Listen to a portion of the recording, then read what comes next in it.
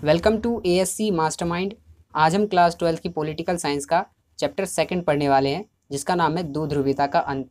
इस चैप्टर का नाम दो ध्रुवीयता का अंत है और वो क्यों है, देखिए। फ़र्स्ट चैप्टर में मैंने पढ़ा था कि यूएसए है, ठीक है, और यूएसएसआर है। इनके बीच में शीत युद्ध चला था तो हमने यही पढ़ा था ना।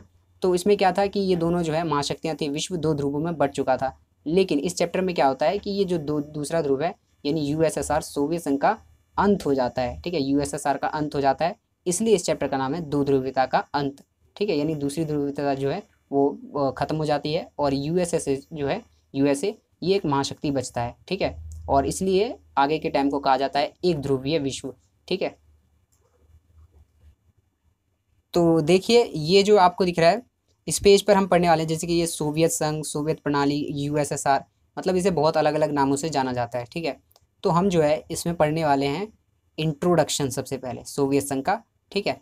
उसके बाद उसकी विशेषताएँ पढ़ेंगे, ठीक है? कुछ तो खासियत रही होगी ना सोवियत संघ की, जिसकी वजह से इतनी बड़ी महाशक्ति बनी, ठीक है? इसके अलावा फिर पढ़ेंगे कमियाँ, ठीक है? हर चीज़ की कमी होती है। तो इसमें भी देखेंगे कि इसकी कमी क्या थी, ठीक है?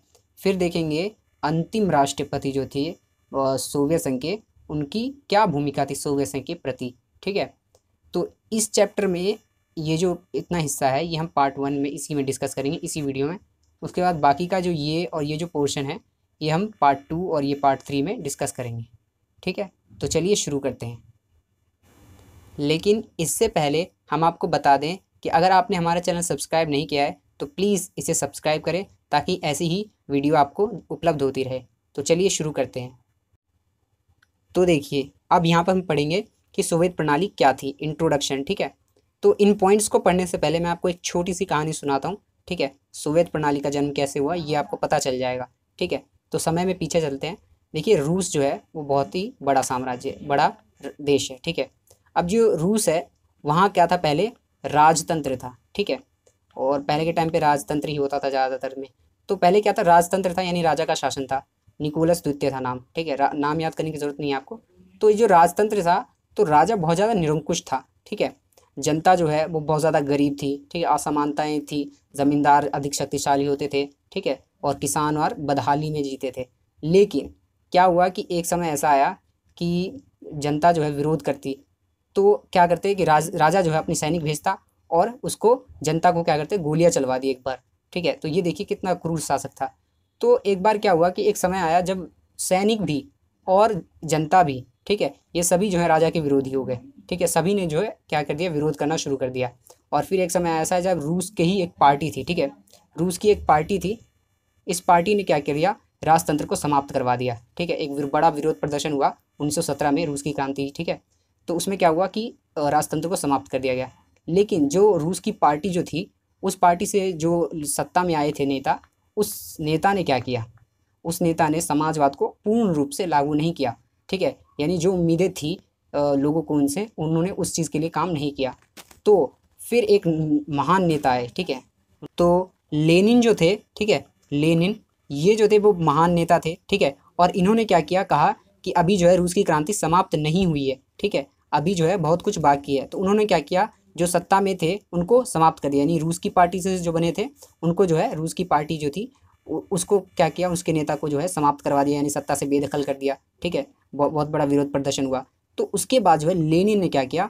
एक क्या कहते हैं, सोवियत प्रणाली की स्थापना की, ठीक है? और अपनी एक पार्टी बनाई। क्या पार्टी का नाम था? कम्युनिस्ट पार्टी, ठीक है?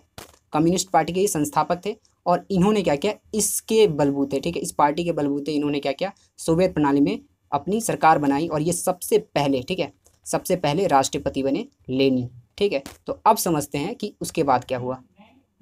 यानी कि देखिए, ये लेनिन थे, इन्होंने ही क्या किया था? कि समाजवाद को सोवियत संघ में अच्छे से लागू किया था। इसके कारण क्या हुआ था कि जो वर्ग भेद था, यानी कुछ अमीर थे, कुछ गरीब थे, ये जो मसला था, ये सॉल्व हो गया था। ठीक है, इस वजह से ये लोकप्रिय नेता थे। अब देखते हैं पॉइंट्स। तो यहाँ पर देख सकते हैं आप, पहला पॉइंट है कि रूस में 1917 में हुई समाजवादी क्रांति के बाद सोवियत प्रणाली का जन्म हुआ। अभी हमने समझा किस तरह से क्रांति हुई और उसके बाद सोवियत प्रणाली का जन्म हुआ। ठीक है तो नेक्स्ट पॉइंट है, इस क्रांति में पूंजीवाद का विरोध किया गया था। ठीक है, और समाजवाद का समर्थन। पूंजीवादी का विरोध क्यों? क्योंकि देखिए, पूंजीवादी तो पहले था, जिसकी वजह से क्या होता था कि जो अमीर हैं, वो और अमीर होते जा रहे थे, गरीब जो है वो गरीब होते जा रहे थे। पूंजीवाद में क्या होता है कि उत्पादन के जितने भी साधन होते हैं, उस पर निजी स्वामित्व होता है। कोई अमीर होता जा रहा है तो होता जा रहा है, और कोई गरीब होता जा रहा है तो वो होता ही जा रहा है, ठीक है? और समाजवाद में क्या था कि समाजवाद में उत्पादन के साधनों पर किसका नियंत्रण होगा? सरकार का, ठीक है? सरकार का नियंत्रण होगा, जिस कारण क्या होगा? सरकार जो है, सब में बराबर बराबर संपत्ति जो है बांटेगी। यानी सबके पास घर होगा अपना, ठीक है? ठीक है तो इस तरह से उद्योग होंगे। उद्योग जो है, वो भी सरकार के अंडर में होंगे, ठीक है? समाजवाद की व्यवस्था में क्या होगा? उद्योग भी सरकार के होंगे। किसी एक व्यक्ति का नहीं होगा, किसी व्यक्ति का नहीं होगा। ये सिर्फ़ सरकार चलाएगी उद्योग, ठीक है? तो इसी तरह ये जो है, पूंजीवाद का विरोध किया गया और समाजवाद का समर्थन किया गया। पूंजीवाद में क्या होता था कि वर्ग भेद हो रहा था, ठीक है? ज़्यादा अमीर अमीर बनता जा रहा था गरीब गरीब और समाजवाद में क्या था कि हर कोई जो है, समान था, इसलिए समाजवाद का समर्थन किया गया। अब देखते हैं नेक्स्ट प्रत्येक संपदा पर, ठीक है? आप यहाँ देखिए, प्रत्येक संपदा पर जो है, राज्य का नियंत्रण था। राज्य यानी कि सरकार, ठीक है? सरकार का नियंत्रण था। फिर नेक्स्ट पॉइंट है कि अर्थव्यवस्था पर सरकार का नियंत्रण था, ठीक है? ज़ाहिर सी बात है, मैंने अभी भी बताया, राज्य का नियंत्रण था प्रत्येक संपदा पर। तो अर्थव्यवस्था पर भी सरकार का नियंत्रण था, इसमें निजी स्वामित्व नहीं था। यानी कि हर चीज़ों पर सरकार का नियंत्रण था, ठीक है? इसमें निजी स्वामित्व यानी कोई किसी की प्राइवेट प्रॉपर्टी नहीं थी, खुद का कुछ नहीं था, ठीक है? सब पर सरकार का अधिकार था। ठीक है, आगे बढ़ते हैं। पंद्रह गणराज्यों को मिलाकर सोवियत संघ बनाया गया था। यानी कि ये जो सोवियत संघ हमने पढ़ा ना, सोवियत प्रणाली, इसको, इसमें कितने देश शामिल थे? पंद्रह। पंद्रह देशों को मिलाकर ये जो है सोवियत संघ बनाया गया था, ठीक है? संघ ऐसे ही नाम नहीं पड़ा। संघ मतलब होता है, यानी कि यूनियन, मिलकर बना हुआ, ठीक है? तो ये पंद्रह जो देश थे, ये मिलकर बने हुए थे और इन्होंने क्या, किस चीज़ का निर्माण किया? सोवियत प्रणाली का, ठीक है? सोवियत संघ का, यू एस एस आर का, ठीक है? तो अब देखते हैं नेक्स्ट पॉइंट। देखिए, सोवियत संघ पर केवल कम्युनिस्ट पार्टी का शासन था, दूसरी पार्टी की कोई जगह नहीं थी। अब ये देखिए, हमने पढ़ा था ना कि अभी कि कम्युनिस्ट पार्टी की स्थापना की थी, ठीक है लेनिन ने, ठीक है। तो इसमें क्या था कि कम्युनिस्ट पार्टी में इकलौती ऐसी पार्टी थी जो सोवियत संघ पर राज कर रही थी, ठीक है, और कोई पार्टी की कोई भी जगह नहीं थी, ठीक है। अब हम देखेंगे इसमें सोवियत प्रणाली यानी सोवियत संघ, यूएसएसआर आप जो कहें, उसकी विशेषता जानते हैं, ठीक है। सोवियत प्रणाली की विशेषता क्या है? तो देखिए, सबसे पहली विशेषता आपके सामने है। आखिर कोई तो वजह होगी जिसकी वजह से सोवियत संघ जो है इतनी बड़ी महाशक्ति थी कि अमेरिका को टक्कर दे रही थी, ठीक है? तो देखते हैं कि सोवियत संघ की विशेषता क्या थी। तो पहली विशेषता देखें यहाँ पर कि सोवियत संघ की संचार प्रणाली अधिक विकसित थी। यानी कि सोवियत संघ की जो संचार प्रणाली थी, यानी सूचना पहुँचाने की जो तकनीक थी, वो बहुत ही ज़्यादा विकसित थी, बहुत ही ज़्यादा अच्छी थी, ठीक है? तो सबसे पहली विशेषता क्या है? संचार प्रणाली अधिक विकसित थी। देखते हैं नेक्स्ट सोवियत संघ के पास विशाल ऊर्जा संसाधन मौजूद थे। ठीक है, जैसे कि खनिज, तेल, लोहा, इस्पात और मशीनरी। यानी कि सोवियत संघ के पास क्या था कि बहुत अधिक मात्रा में ऊर्जा संसाधन जो है, वो मौजूद था। ठीक है, जैसे कि खनिज है, लोहा, इस्पात और मशीनरी। इसकी वजह से उसके पास कोई भी ऊर्जा संसाधन की कमी नहीं थी। ठीक है, अब नेक्स्ट देखते हैं। नेक्स्ट पॉइंट है कि सोवियत संघ सोवियत संघ के दूर दराज के इलाके में आने जाने के लिए बेहतर व्यवस्था थी। यानी कि अगर सोवियत संघ है, ठीक है ये संघ है। अगर उसको एक क्षेत्र से, ठीक है, दूसरे क्षेत्र तक जाना हो तो उसके लिए जो क्या था, एक बहुत ही अच्छी व्यवस्था थी, ठीक है। ट्रांसपोर्टेशन यानी कि हम ये कह सकते हैं कि ये जो यातायात जो सुविधा थी, वो बहुत ही अच्छी थी, ठीक है। एक स्थान से दूसरे स्थान पर पहुँचने की सुविधा बहुत अच्छी थी। इसलिए यहाँ पर पॉइंट है ये कि सोवियत संघ के दूर दराज के इलाके में आने जाने के लिए बेहतर व्यवस्था की गई थी, ठीक है। तो अब ये देखिए कि अगर आप इस पॉइंट को अगर अच्छे से समझना चाहते हैं और अच्छे से लिखना चाहते हैं तो आप इस तरह से लिख सकते हैं कि संचार प्रणाली अधिक थी, अच्छी थी, ठीक है, विकसित थी।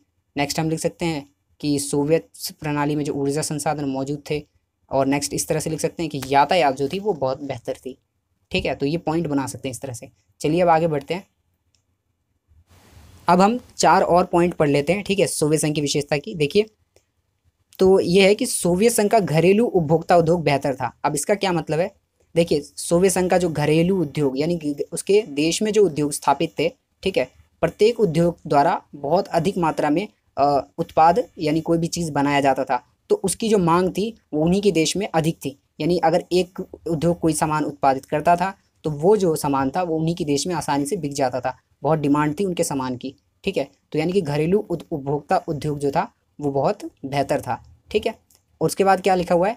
यहाँ देखिए कि यहाँ पिन से लेकर कार, लगभग सभी चीज़ों का उत्पादन किया जाता था। यानी कि सोवियत संघ के जो घरेलू उपभोक्ता उद्योग थे, यानी उद्योग जो थे, वो जो है, वो पिन से लेकर कार तक। यानी कि ये देखिए कि छोटी सी छोटी चीज़, ठीक है, छोटी सी छोटी पिन से लेकर बड़ी से बड़ी कार तक का निर्माण किया जाता था सोवियत संघ के उद्योग द्वारा, ठीक है? तो ये होगी इसकी विशेषता। नेक्स्ट है कि सोवियत संघ में जो है, बेरोजगारी नहीं थी। बिल्कुल भी नहीं थी, ठीक है? सोवियत संघ में बेरोजगारी नहीं थी। ठीक है, ये पांचवी विशेषता है। तो देखिए नेक्स्ट पॉइंट जो है, वो है नागरिकों के लिए न्यूनतम जीवन स्तर सुनिश्चित कर दिया गया था। यानी कि अब इसका क्या मतलब है न्यूनतम जीवन स्तर? तो देखिए जो सोवियत संघ की सरकार थी, उन्होंने क्या कर दिया कि जनता को वो मूलभूत आवश्यकताएँ, वो चीज़ें जो उनके जीवन जीने के लिए ज़रूरी हैं, ठीक है, और उनको मिलना ही चाहिए, वो जो है न्यूनतम जीवन स्तर में आता है, ठीक है। तो यही चीज़ें जो है उनको सुनिश्चित कर रखा था कि ये जो है आपको कम से कम उपलब्ध तो होगी ही। तो क्या है वो? यानी सरकार, जनता को स्वास्थ्य सुविधा, शिक्षा जैसी चीज़ें रियायत दर पर। रियायत दर का मतलब क्या है यहाँ पर? कि कम से कम दर पर, एकदम कम से कम कीमत पर उपलब्ध करवाई जाएगी। हो सके तो फ्री में भी, ठीक है? तो ये जो है, रियायत दर पर ये जो है, जनता को उपलब्ध करवाया जाएगा। ऐसा बना, ऐसा किया गया था, ठीक है? तो इस पॉइंट का मतलब यही है कि नागरिकों के लिए न्यूनतम जीवन स्तर सुनिश्चित कर दिया गया था। यानी सरकार, जनता को स्वास्थ्य सुविधा, शिक्षा और ये सारी चीज़ें रियायत दर पर उपलब्ध करवाएगी, ठीक है? तो अगर आप इसको समराइज़ करना चाहते हैं तो आप ऐसे कह सकते हैं। तो पहला पॉइंट कर सकते हैं, उपभोक्ता उद्योग बेहतर था। तीसरा, बेरोजगारी नहीं थी। चौथा, कि न्यूनतम जीवन स्तर सुनिश्चित कर रखा था। ठीक है? तो नेक्स्ट टॉपिक देखते हैं हमारा। देखिए, सोवियत प्रणाली की कमियाँ। ठीक है?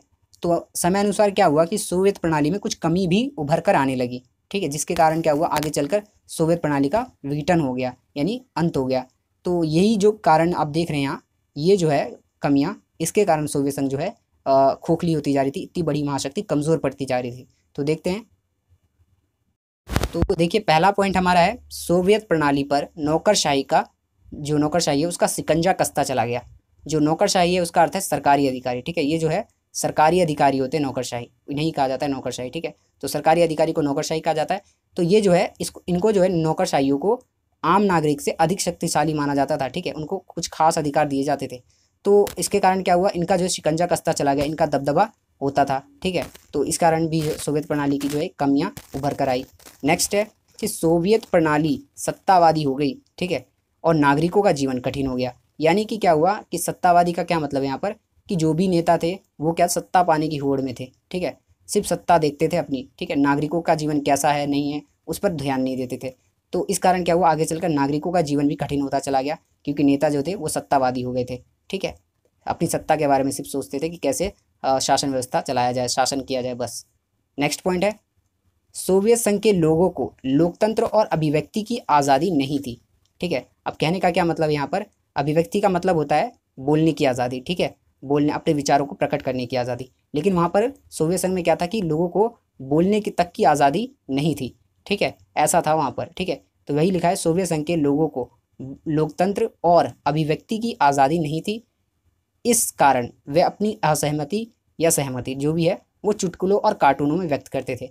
यानी देखिए कि क्या करते थे, वो डायरेक्टली नहीं बोल सकते थे सरकार के बारे में कि ये गलत कर रहे हैं, सही कर रहे हैं, ठीक है? वो क्या करते थे, चुटकुले हैं, ठीक है? चुटकुलों के माध्यम से अपने विचारों को प्रकट करते थे या कार्टून में, ठीक है? कार्टून में अपने विचारों को प्रकट करते थे, ठीक है? यानी ये देखिए कि ठीक से नागरिकों को बोलने तक का भी हक नहीं दिया गया था, ठीक है? वो अपनी हर बात चुटकुले और कार्टून में व्यक्त करते थे। अब नेक्स्ट पॉइंट देखते हैं। नेक्स्ट पॉइंट है सोवियत संघ की ज़्यादातर संस्थाओं में सुधार की ज़रूरत थी। यानी कहने का मतलब यहाँ पर यह है कि जितने भी सोवियत संघ की संस्थाएँ थी, ठीक है? उनके अंडर में थी, उनके अधिकार क्षेत्र में थी, उन सभी में भ्रष्टाचार ज़्यादा हो रहा था, ठीक है? तो देखिए, अगर आपको ये जो है पॉइंट में लिखना है तो आप इस तरह से लिख सकते हैं कि नौकरशाही का सिकंजा कसना, ठीक है? सोवियत प्रणाली का सत्तावादी होना, ठीक है? और उसके बाद आप लिख सकते हैं कि लोकतंत्र और अभिव्यक्ति की आज़ादी का ना होना, ठीक है? ये सारी, और उसके बाद हम लिख सकते हैं सोवियत संघ की ज़्यादातर संस्थाओं में सुधार की ज़रूरत थी, ठीक है? तो आप ये जो है पॉइंट अच्छे से लिख सकते हैं और उसके बाद अपना डिटेल में आंसर दे सकते हैं, ठीक है? अब आगे देखते हैं। तो देखिए, सोवियत संघ की और कुछ कमियाँ जान लेते हैं।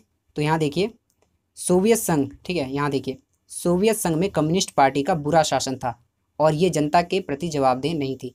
कहने का मतलब ये है कि सोवियत संघ में जो कम्युनिस्ट पार्टी की स्थापना लेनिन ने की थी, वो बाद के समय में अब बुरा शासन करने लगी थी, ठीक है? और जनता के प्रति जवाबदेह भी नहीं थी, यानी अपनी मनमर्जी का शासन चलाई जा रही थी। जनता क्या चाहती थी, जनता की क्या उम्मीदें थी, उसको, उससे कोई मतलब नहीं था, ठीक है? कम्युनिस्ट पार्टी का बिल्कुल बुरा शासन था और जनता के प्रति बिल्कुल भी जवाबदेह नहीं होती थी ये पार्टी, ठीक है? तो ऐसा था कम्युनिस्ट पार्टी का शासन। फिर देखते हैं नेक्स्ट क्या है? तो नेक्स्ट है सोवियत संघ ठीक है, सोवियत संघ अपने नागरिकों की राजनीतिक और आर्थिक आकांक्षाओं को पूरा नहीं कर सका। यानी कहने का मतलब है कि सोवियत संघ में जो नागरिक है, उनको कुछ आशाएँ थी, कुछ इच्छाएँ थी उनकी, जो अपने सरकार से थी। ठीक है, कि वो हमारी सरकार इस बार हमारे लिए कुछ नया करेगी, कुछ अच्छा करेगी। लेकिन ऐसा कुछ हुआ नहीं, ठीक है? तो वही बताया गया कि सोवियत संघ अपने नागरिकों की जो आर्थिक इच्छाएँ थी, आकांक्षाएँ थी, राजनीतिक आकांक्षाएँ थी, उसको पूरा नहीं कर सका। ठीक है? नेक्स्ट पॉइंट है तो देखिए नेक्स्ट पॉइंट क्या है? नेक्स्ट पॉइंट है कि सोवियत संघ ने 1979 में अफ़गानिस्तान में हस्तक्षेप किया, यानी दखल दिया। ठीक है? एक युद्ध हुआ था सोवियत संघ का अफ़गानिस्तान से। ठीक है? जिससे सोवियत संघ को आर्थिक हानि हुई थी। ठीक है? सोवियत संघ ने क्या किया? 1979 में अफ़गानिस्तान के मामले में दखल दिया। अफ़गानिस्तान से जो है युद्ध भी हुआ इससे। ठीक है? जिससे सोवियत संघ को आर्थिक हानि हुई तो ये जो है सातवीं कमी है। नेक्स्ट है प्रौद्योगिकी के मामले में सोवियत संघ। पश्चिमी देशों से पीछे था। कहने का मतलब ये है कि क्या हुआ कि सोवियत संघ जो है, वो पश्चिमी देश है, जैसे अमेरिका है या अन्य कोई देश है, उससे जो है प्रौद्योगिकी के मामले में बिल्कुल पीछे था, ठीक है? तो ये भी उसकी कमी में गिना जाता है, ठीक है? तो आशा है ये जो कमियाँ हैं वो आपको समझ में आई होगी, ठीक है? तो आगे बढ़ते हैं। इससे पहले हम इसको समराइज़ कर लेते हैं, देखिए कैसे होगा। देखिए, कम्युनिस्ट पार्टी का बुरा शासन था, ठीक है? और आकांक्षाओं को पूरा ना कर सका सोवियत संघ। और 1979 में अफ़गानिस्तान में हस्तक्षेप हुआ और प्रौद्योगिकी के मामले में पीछे था, ठीक है? तो अब हम जो है मिखाइल गोरबाचेव के बारे में भी जान लेते हैं। मिखाइल गोरबाचेव जो है, वो सोवियत संघ के अंतिम राष्ट्रपति थे, ठीक है? तो उनके बारे में देखते हैं। ये देखते हैं, देखिए, पहला पॉइंट है कि मिखाइल गोरबाचेव 1980 के दशक के मध्य में, यानी कि 1985 में, ठीक है?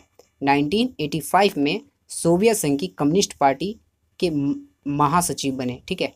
यानी ये जो है कम्युनिस्ट पार्टी के महासचिव बने थे। और उसके बाद देखिए क्या होता है, उसके बाद कुछ सालों बाद जो है ये नेता भी बनते, अभी महासचिव बने, ठीक है? आगे देखते हैं। फिर देखिए 1990 में गोरबाचेव सोवियत संघ के राष्ट्रपति भी बने, ठीक है? और देखिए उसके बाद मिखाइल गोरबाचेव सोवियत संघ के अंतिम राष्ट्रपति थे। अब यहाँ पे जान लीजिए देखिए 1980 के मध्य में, यानी उन्नीस में ये कम्युनिस्ट पार्टी के महासचिव बने, ठीक है? फिर इनको एक मौका मिला तो वो 1990 में गोरबाचेव जो है, सोवियत संघ के राष्ट्रपति भी बने और ये जो है, मिखाइल गोरबाचेव सोवियत संघ के अंतिम राष्ट्रपति थे। अब ये देखिए, राष्ट्रपति बनने के बाद इनकी क्या प्रतिक्रिया थी, इन्होंने क्या किया? गोरबाचेव ने सोवियत संघ की व्यवस्था में सुधार करने का प्रयास किया। अभी हमने कमियाँ पड़ी थी ना तो इसी तरह क्या हुआ, इन कमियों को देखते हुए मिखाइल गोरबाचेव ने सोचा कि अब सुधार करने का मौका आ गया है। ठीक है? तो सबको उम्मीदें भी थी। देखते हैं। तो गोरबाचेव द्वारा अपनाई गई सुधार की नीति ये देखिए। कौन कौन सी नीति है? ये पूछा जा सकता है। तो देखिए, गोरबाचेव की सुधार की नीति कौन कौन सी थी? पहली नीति थी पश्चिमी देशों के साथ संबंध सामान्य बनाना। यानी इनकी पहली नीति ये थी कि पश्चिमी देश जैसे अमेरिका है, ब्रिटेन है, इन सब के साथ जो है संबंध जो है अच्छे बनाया जाए, दोस्ताना संबंध बनाया जाए, उनके साथ व्यापार वगैरह जो है स्टार्ट किया जाए। ठीक है? नेक्स्ट नीति थी सोवियत संघ को लोकतांत्रिक रूप देने का प्रयास करना। अभी हमने कमी भी पढ़ी थी ना कि सोवियत संघ में लोकतंत्र और अभिव्यक्ति की आज़ादी नहीं थी। तो यहाँ उन्होंने कहा कि लोकतंत्र रूप दिया जाएगा, ठीक है? जनता भी सरकार मतलब सरकार के जो है, जनता के प्रति जवाबदेह होगी। सरकार कुछ भी नहीं कर सकती। जनता को जवाब देना पड़ेगा, ठीक है? तो ऐसा उन्होंने क्या कि लोकतंत्र को मज़बूत किया जाए, ठीक है? और नेक्स्ट है कि आर्थिक सुधार की नीति, ठीक है? आर्थिक यानी कि ज़्यादा से ज़्यादा व्यापार, ज़्यादा से ज़्यादा आर्थिक उन्नति को हासिल करना, ठीक है? अच्छी से अच्छी प्रौद्योगिकी को लाया जाए। तो ये जो है गोरबाचेव द्वारा इन नीतियों को अपनाया गया, ठीक है? फिर है कि गोरबाचेव के इन नीतियों का कम्युनिस्ट पार्टी के नेताओं ने विरोध किया, क्योंकि देखो गोरबाचेव भी थे जो ये चाहते थे कि सब कुछ सही हो जाए, लेकिन कम्युनिस्ट पार्टी के नेता तो वही थे, वही सत्तावादी, ठीक है? और कुछ चाहते ही नहीं थे कि जनता के प्रति हम कुछ करें। तो उनके नेता जो थे, उन्हीं के पार्टी में नेता, वो नहीं चाहते थे कि विकास हो, लेकिन अकेले मिखाइल गोरबाचेव थे जो चाहते थे कि विकास हो, ठीक है? तो इस तरह से जो है उनके पार्टी के अपने ही लोगों ने उनका विरोध किया।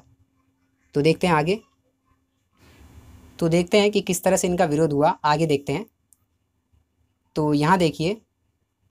तो चलिए इसको देखते हैं और समझते हैं कि क्या हुआ था। देखिए, उन्नीस सौ इक्यानवे में तख्ता पलट हुआ एक, ठीक है? तख्ता पलट का मतलब होता है कि एक छोटे से समूह द्वारा या कार्रवाई द्वारा सरकार को असंवैधानिक तरीके से हटा देना, यानी कानून में लिखित विधियों के ज़रिए नहीं ऐसी विरोध प्रदर्शन द्वारा हटा देना। तो क्या हुआ? मिखाइल गोरबाचेव को जो है विरोध प्रदर्शन करके क्या हुआ कि उनकी पार्टियों के लोग ने हटा दिया। ठीक है, जनता ऐसा नहीं चाहती थी कि मिखाइल गोरबाचेव हट जाए, क्योंकि मिखाइल गोरबाचेव तो जनता के लिए अच्छा कर रहे थे। लेकिन क्या हुआ कि पार्टियों के लोग ने उन्हें सत्ता से बाहर कर दिया। तो देखिए आगे क्या होता है कि ये सब छोड़िए, आगे देखते हैं। जब तक जनता को स्वतंत्रता का स्वाद मिल चुका था, यानी कि जो मिखाइल गोरबाचेव ने नीति अपनाई थी, उससे जो है जनता को बहुत अच्छा लगा। ठीक है और उन्हें जो है स्वतंत्रता का स्वाद मिल चुका था, यानी उन्हें पता चल चुका था कि स्वतंत्रता क्या होती है, ठीक है? और अब वो जो है क्या था, ये देखिए, आगे देखिए, वे कम्युनिस्ट पार्टी की पुरानी रंगत वाली शासन में नहीं जाना चाहती थी।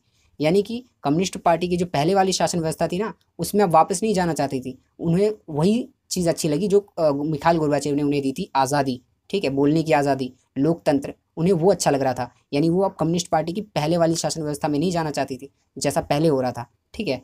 तो आगे देखिए क्या हुआ। कि इस कारण क्या हुआ कि जनता ने और और भी लोगों ने क्या हुआ, इस तख्ता पलट का विरोध किया, यानी कि गोरबाचेव को हटाने जाने का विरोध किया। तो उसमें आगे देखते हैं यल्तसिन ने इस तख्ता पलट के विरोध में महत्वपूर्ण भूमिका निभाई। ठीक है, यानी तख्ता पलट जो हो रहा था, गोरबाचेव का सत्ता से हटाया जा रहा था, इस चीज़ का विरोध किया यल्तसिन ने। यल्तसिन कौन है? देखिए यल्तसिन जो है, वो भविष्य में यानी कि आगे चलकर क्या होता है कि यही जो है, रूस के प्रथम राष्ट्रपति बनते हैं। ठीक है तो इन्होंने क्या इस तख्ता पलट का विरोध किया था। अब ये देखिए कि जब तख्ता पलट हो ही गया और उन गोरबाचेव को हटा दिया गया तो यल्तसिन ने क्या किया देखिए? अब देखिए क्या होता है कि रूसी गणराज्य ने, जहाँ बोरिस यल्तसिन ने आम चुनाव जीता, यानी रूसी गणराज्य में क्या हुआ? ये ये जो रूस है, वो सोवियत संघ का ही एक पार्ट था, ठीक है? सोवियत संघ में पंद्रह देश शामिल थे ना तो उसमें से रूस भी शामिल था। लेकिन रूस ने क्या किया? अलग से एक चुनाव करवाया रूस में, और बोरिस यल्तसिन जो है, वो विजयी रहा, ठीक है? अब क्या हुआ देखिए, आगे देखते हैं। केंद्रीकृत नियंत्रण को मानने से इनकार कर दिया। यानी कि बोरिस यल्तसिन ने क्या किया कि यूएसएसआर में जो भी अब शासक बनेगा मिखाल गोरबाचेव के बाद तो उसको जो है मानने से इनकार कर दिया कि अब तो हम केंद्र सरकार को नहीं मानेंगे। अब हमारा जो रूस है हमने आ, आ, जो वहाँ के हम सरकार बने हैं अब हम ही शासन चलाएँगे। ठीक है? यूएसएसआर के शासन को नहीं मानेंगे। यहाँ पे यही लिखा हुआ है कि केंद्रीकृत नियंत्रण को मानने से इनकार कर दिया। ठीक है? तो ये यहाँ पर आपको समझना था। अब आगे देखिए यहाँ से समझिए फिर उसके बाद। सन उन्नीस सौ इक्यानवे के दिसंबर में यल्तसिन के नेतृत्व में सोवियत संघ के तीन बड़े गणराज्य, रूस, यूक्रेन, ठीक है, एक मिनट में दिखा देता हूँ आपको।